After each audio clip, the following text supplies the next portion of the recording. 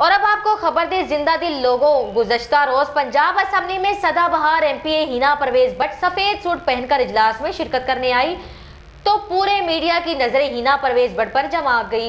Hina Parvez Bhatt Punjab assembly की वो member assembly है जिसने दर्जनों बिल कानून साजी के लिए असम्बली में पेश किए, और वो अक्सरियत राय से पास हुई। हिना परवेज भट्ट पंजाब असम्बली की सबसे खूबसूरत और जहीन मेंबर असम्बली का एजाज भी रखती हैं।